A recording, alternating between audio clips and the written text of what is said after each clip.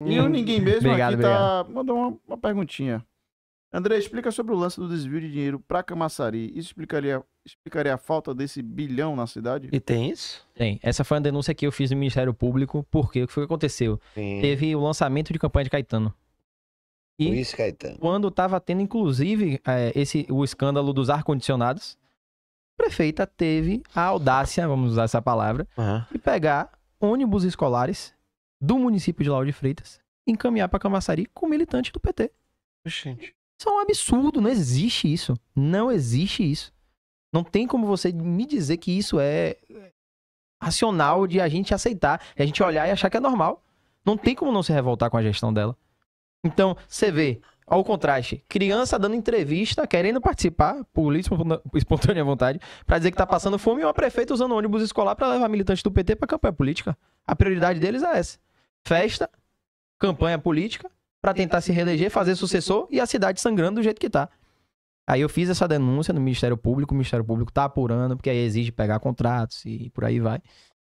É, espero que a- a justiça prevaleça nesse caso aí, que a gente sabe como é que funciona o país. Tem aqui Zé Carlos do Garcia que mandou uma pergunta. Ele diz assim: Boa noite, vocês todos. Boa noite, Matheus. Como vai você? Eu tô bem, Zé. E você, meu anjo? Tá direitinho? Como é que tá a família, sua sogra, sua esposa, cachorro, tudo direitinho? E os acarajés? Tá... E a novela, como é que tá?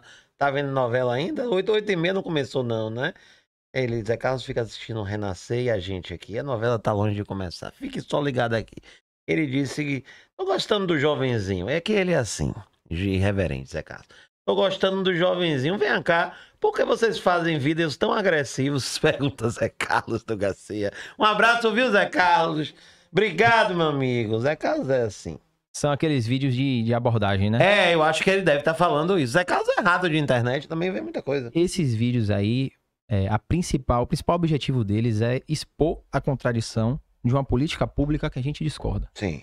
Então, a gente vai num político e a gente faz uma pergunta que vai deixar ele numa saia justa, Constrangido. constrangido e é, alguns ali debatem, outros não. E a gente consegue, de uma forma palpável, mostrar para a população a nossa crítica. E mostrar que, inclusive, a crítica tem fundamento, porque se não tivesse fundamento, se fosse algo fácil de se refutar, o político ia parar para debater com a gente. E eles correm por quê? Porque não tem o que falar. Hum. Se eles tivessem o que falar, eles parariam para conversar com a gente e explicariam o lado deles. A presidente da casa, eu não sei se você viu esse vídeo meu, abordei ela de uma forma muito tranquila. Presidente Naide Brito. Isso, Naide Brito.